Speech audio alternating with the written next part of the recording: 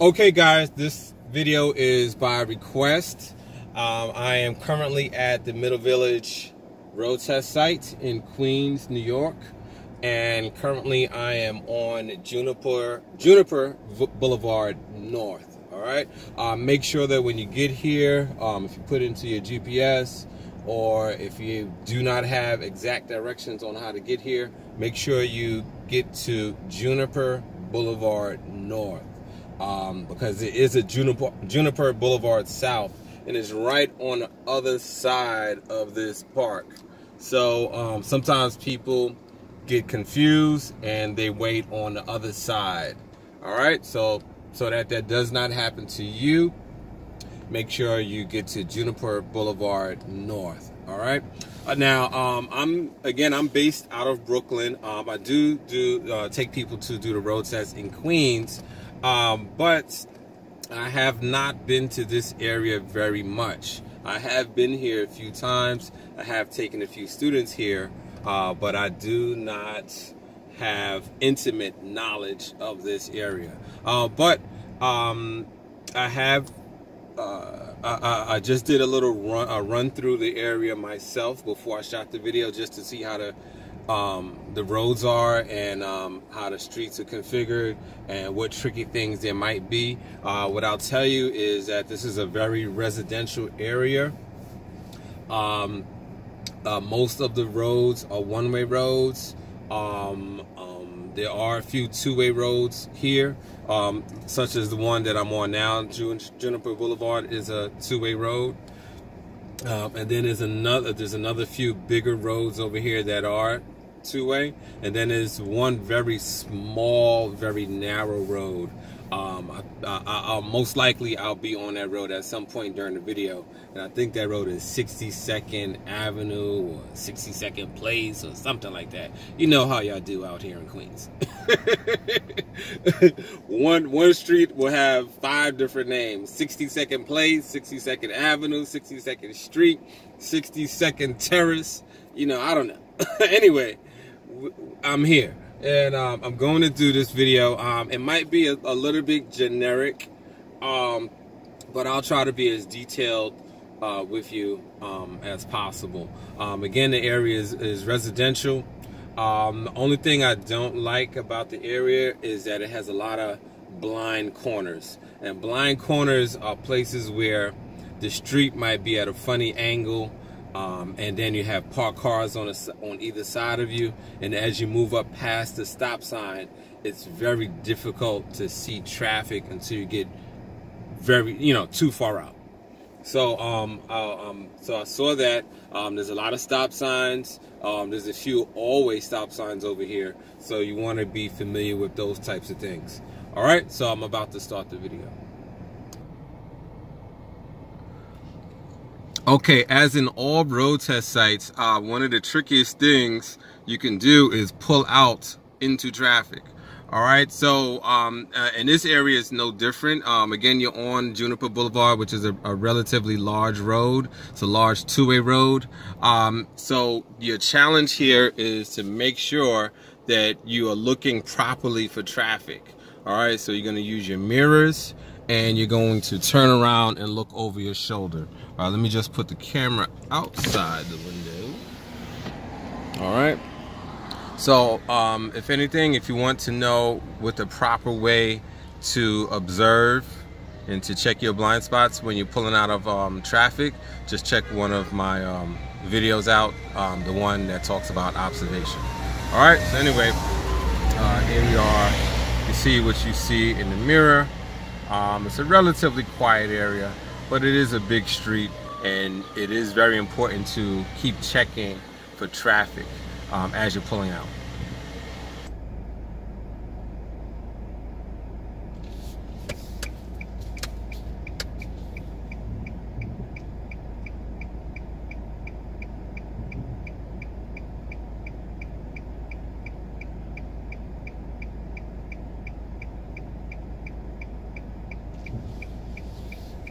Okay, I'm pulling out into traffic, looking over my shoulder several times. I'm pulling out here. Uh, since there's an ice cream truck, I have to go around the ice cream truck and onto the yellow line. All right.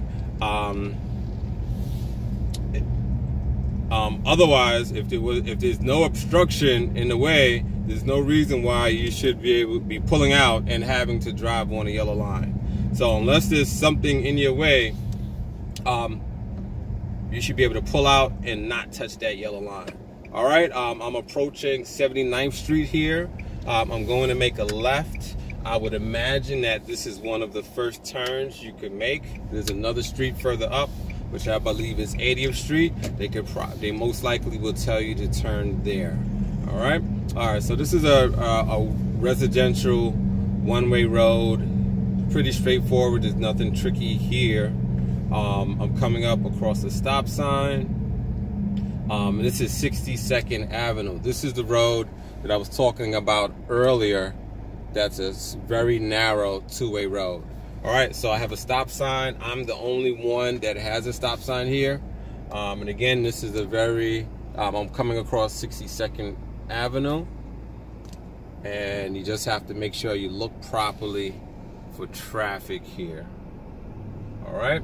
Um, this is a place where it is difficult to see and the road is very narrow. So for example, um, if you if I was to turn on this road or you were to turn on this road, um, um, you can't see properly here. I'm hopefully I'm catching the left side, my left side properly, but there's a there's a um, a Jeep here, and I cannot see anything coming up that road until it's it, it gets to the Jeep.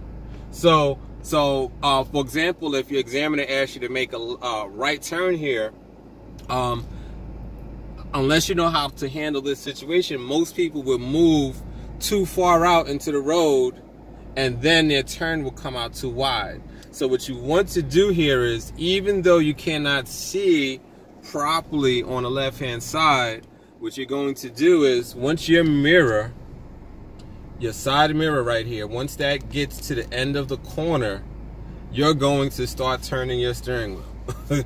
All right? turn that's if you're making a right turn so if you're making a right turn once your mirror hits the hits the end of the uh the the sidewalk make one full revolution of your of your steering wheel one 360 degree turn to the right then as you move forward you keep looking for traffic on your left and you will naturally turn into the road without being too wide. And you may need to give it a little bit more of a turn. More than 360 degrees, all right? So I almost turned my wheel all the way to the right just to make this turn. All right, let me adjust the camera. Right.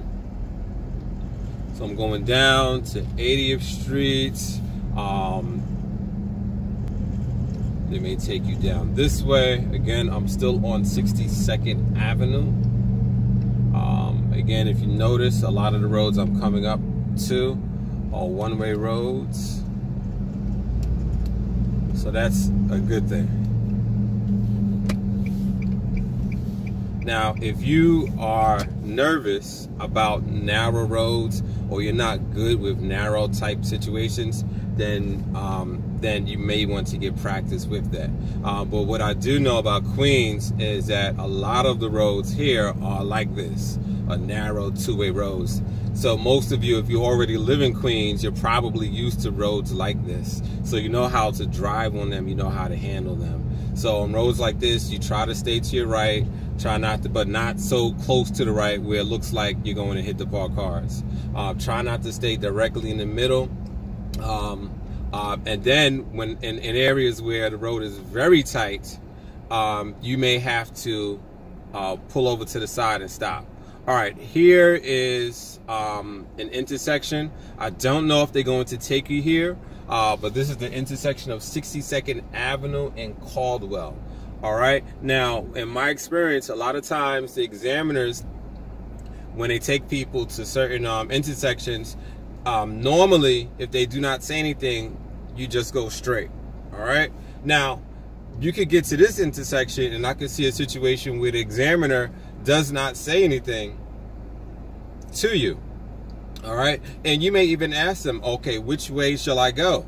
And the examiner should, may say something to you like, sir or ma'am, you're the one driving, you make the decision.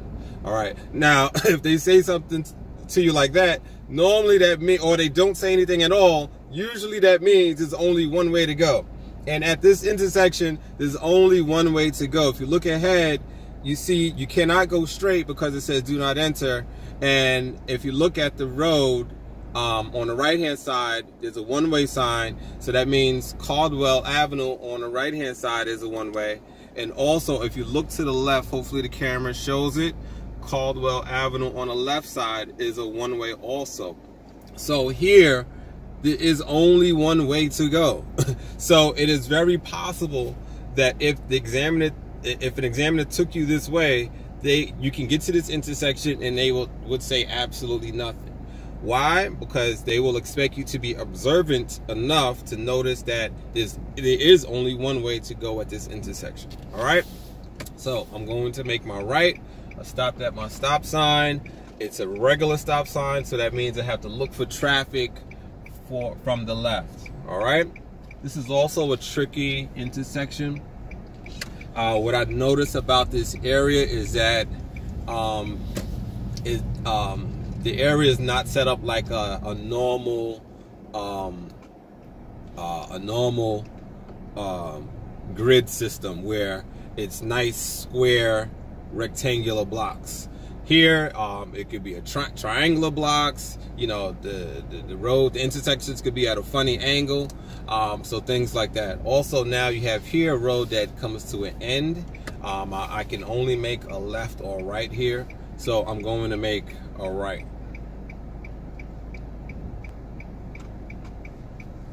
So moving up past the stop sign, this is also another very narrow road that I'm turning onto. So again, my mirror is at the end of the corner. I'm turning. Actually had to turn the wheel more than one full circle so that that turn would not be too wide. All right. Right now this road is, what is this? I think this is, oh yeah, it says Dry Harbor Road. All right, so this road curves around. So that's some of the things you might see in this area is curved roads, um, funny intersections, um, angular intersections. And uh, this is taking me back to 63rd Avenue. I'm going to make a right turn here. This should be Juniper Boulevard North again. 82nd Street.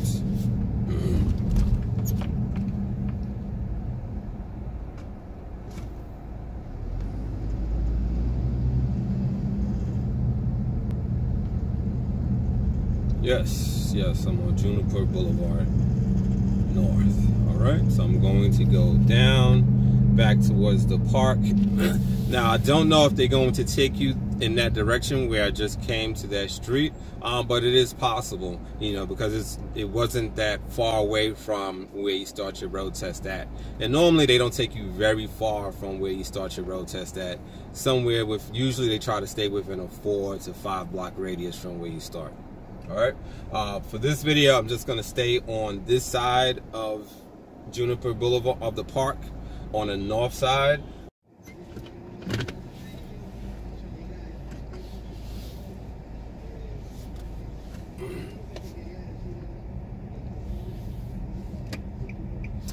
Okay, this time I'm going down 79th Street, uh, which when you start your road test, uh, 79th Street is very likely to be your first left turn. All right.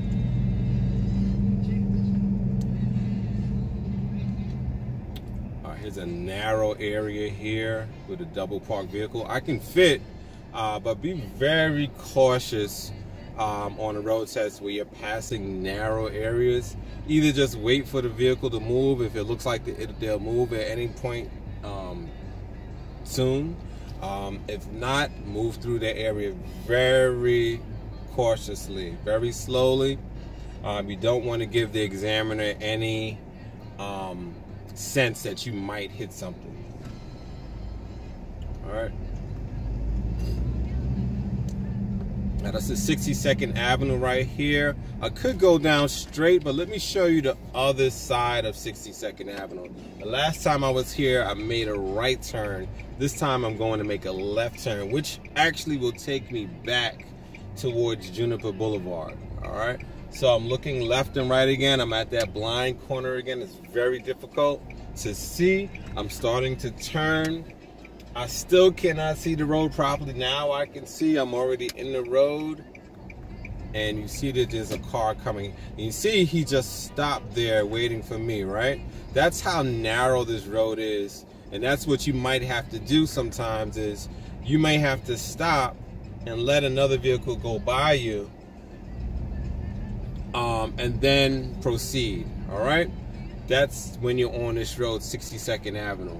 Right now, I'm at the corner of 62nd and 78th Street. There's an all-way stop sign here. So all-way stop signs, you only have to stop one time, and you only should stop one time. All right. If you stop twice at an all-way stop sign when you did not have to, then you can actually fail for um, impeding traffic. All right. So again, if you notice, a lot of these roads, a lot of the crossroads are one ways.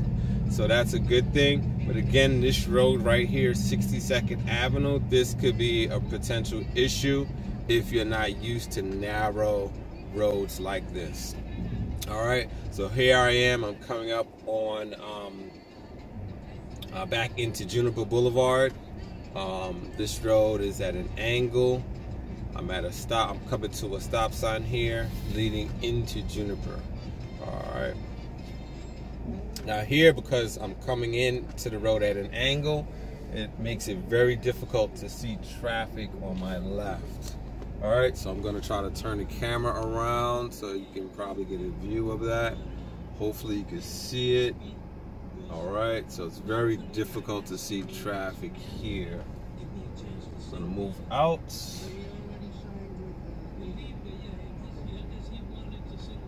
Then I'm going to start to make this turn. There's a bike, I'm just going to wait for the bike because bikes do have the right of way. All right, so if the bike is on the road already and you're coming from a stop sign, don't try to speed out in front of the bike. Um, the bike actually has the right of way, unless the bike also has a stop sign. All right. Um, all right, so I'm gonna drive off here. Try not to touch that yellow line. It's another road, 76th Street. I'm going to go down a little bit further just in case they do take you down further.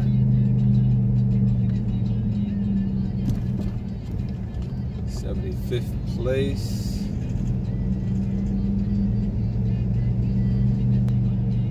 Maybe I'll go all the way down to the end. Yeah, let's do that. Okay, it's a stop sign. This road comes to an end, so you have no choice but to make either a left or right here. The examiner should be telling you which way to go. I'm stopping at the stop sign. I'm looking for traffic and um, I did not make a second stop there, but you should make a second stop. So once you stop at the stop sign, you make your first stop at the stop sign. If it's a normal stop sign, you should move up to where you can see traffic a little bit better and stop again.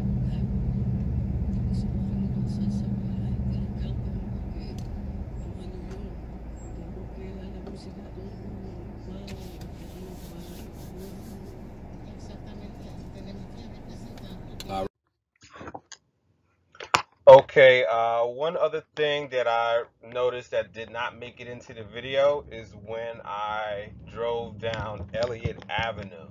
Um, the following images I'm going to show you um, are of Eliot Avenue. And what I want you to notice is that there's a bike lane on that road.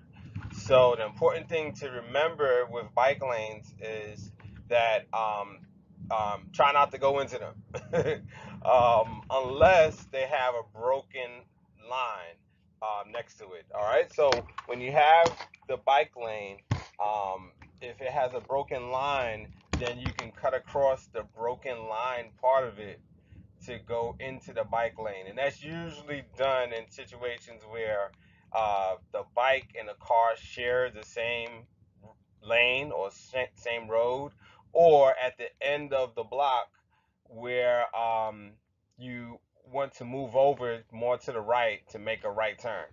All right, so it's designed that way specifically so that cars can move over more to the right to make their right turn. So if you see a broken line and you're getting ready to make a right turn, it, it is okay and you should move over slightly into the bike lane to make your right turn.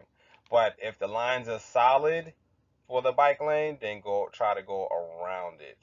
Um, and that's whether you're making a right turn onto a road that already has a bike lane or you're coming off a road that has a bike lane.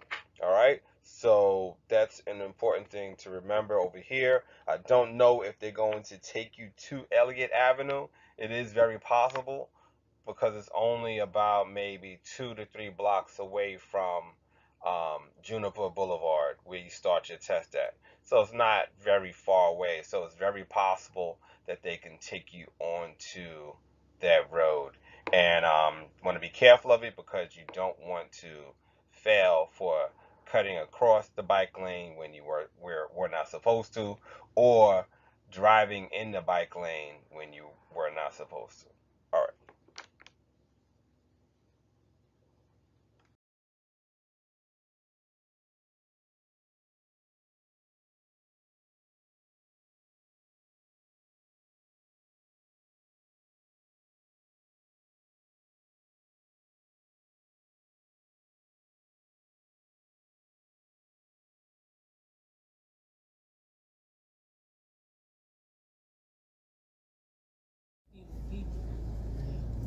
Okay, the last video got cut off a little short. So like I said, um, I, when I do come to Queens, I prefer to do my take my people to either Laurelton or Jamaica, uh, Queens. Um, this area is not bad.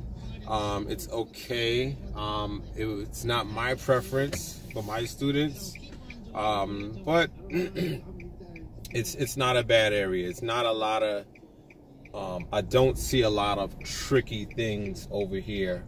Um, um, but I may do a follow-up video um, if I find out more information. Um, and I'll do some research on the area and see um, if there are any particular tricky things in this area that, that I did not cover in this video. All right? Thanks for watching. Uh, subscribe if you can and um, I'll be putting out more videos. And thanks to those who are already subscribers. Um, thanks a lot. See you later.